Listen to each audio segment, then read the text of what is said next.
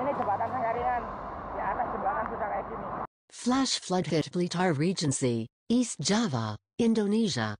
The Blitar Regional Disaster Mitigation Agency reported that 13 villages in five sub-districts were affected. 1,094 families are affected and 465 people are evacuated. The number can increase.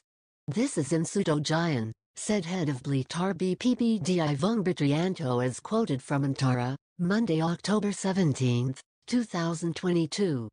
The flood submerged people's homes and public facilities.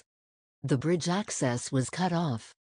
The flood water was reported to be at a height of about 1 meter in the Sutojayan district. The evacuation post has been opened in the hall of the Sutojayan sub-district. We have also established a public kitchen. It is located in the multi-purpose building of Sutojayan sub-district, he added.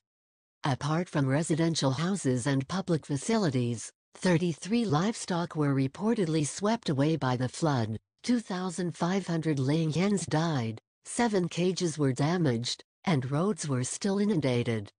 The BPBD continued to remain vigilant in this disaster. The members also continued to explore the possibility that there were still residents who have not been evacuated to safer places.